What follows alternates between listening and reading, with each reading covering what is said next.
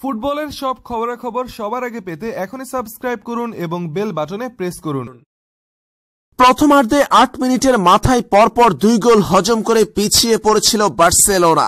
দলকে পরাজয়ের হাত থেকে বাঁচাতে স্বরূপে জ্বলে উঠলেন লিওনাল মেসি।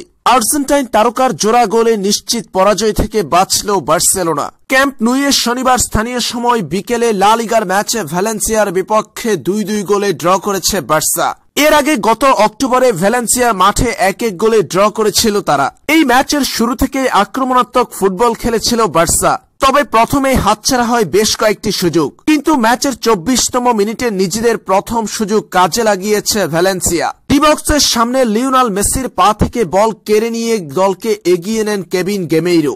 এক শূন্য গোলে এগিয়ে থাকা ভ্যালেন্সিয়া নিজেদের দ্বিতীয় গোলের দেখা পেয়েছে ম্যাচের বত্রিশতম মিনিটের সময়। এ সময় সফল স্পট কিক থেকে দলের স্কোরলাইন দুই শূন্য করেছেন পারেজো। দুই শূন্য গোলে পিছিয়ে পড়ার সাত মিনিট পর নিজেদের প্রথম গোলের দেখা পেয়েছে বার্সা। ডিবক্সে নেলসন সেমিদো ফাউলের শিকার হলে পেনাল্টির বাঁশি বাজায় রেফারি। আর সেই পেনাল্টি থেকে গোল করে দলের ব্যবধান কমান মেসি। দুই এক গোলে পিছিয়ে থেকে প্রথমার্ধ শেষ করেছে বার্সেলোনা। দ্বিতীয়ার্ধের শুরু থেকে একের পর এক আক্রমণ করতে থাকা বার্সেলোনা ম্যাচের চৌষট্টিতম মিনিটে লিওনাল মেসির নৈপুণ্যের সমতায় ফিরে। বিদালের বাড়ানো বল থেকে অনেকটা দূর থেকে গোলটা করেন তিনি। পুরো ম্যাচে উনসত্তর শতাংশ বল দখলে রেখেও ড্র করেছে বার্সা। লালিগায় নিশ্চিত পরাজয় থেকে অল্পের জন্য কাতালানদের বাঁচালেন লিওনাল মেসি।